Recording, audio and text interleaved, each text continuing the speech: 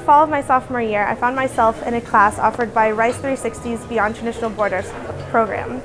Um, and what that program aims to do is teach undergrads some engineering skills, some global health information, um, and they do that by having them design medical devices for developing countries. And so at the beginning of the semester, we formed our groups, and as it turned out, I was in a group with a couple sociology majors, an economics major, um, no engineers, no one who knew anything about building anything. Um, but regardless of that, we were challenged to come up with a way to diagnose anemia in developing countries. Anemia is a huge problem around the world. Over 2 billion people are anemic, but a lot of times it goes undiagnosed because there's simply not the resources to buy the equipment that doctors need to perform those medical tests.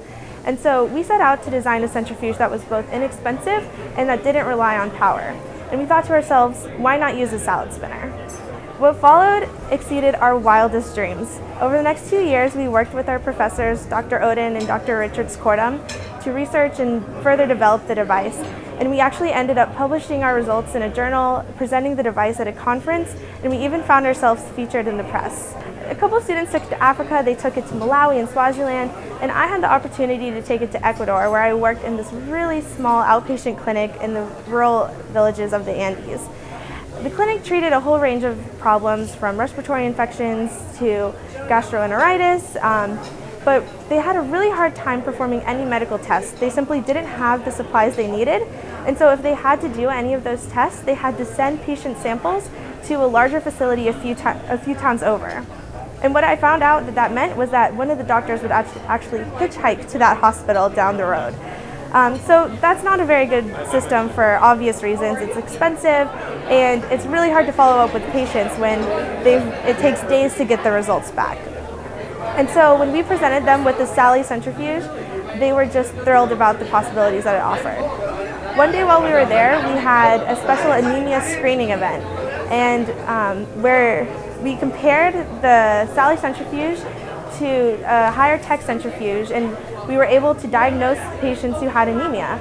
And what we found out is that a lot of patients had been really worried that they had been anemic and they were so relieved to find out that they weren't anemic when the doctor gave them those results. And actually in a few cases we found out the patient was anemic, but because they had that diagnosis, the doctor was able to get them the treatment and the counseling that they needed so that they could um, make sure that that condition was properly taken care of. Thanks to Rice 360, um, I realized my passion for global health and I've cultivated the skills necessary to excel in the field. Um, already I'm drawing on my experience with Sally as I'm part of a senior design team that's devised a way to diagnose postpartum hemorrhage, the largest cause of maternal mortality. And that conference I mentioned earlier, well, the organization that hosted that conference is the same nonprofit that hired me for next year. Um, in short, it's really hard to overstate just how much Rice 360 and my education at Rice has impacted me, and for that I will always be grateful. Thank you.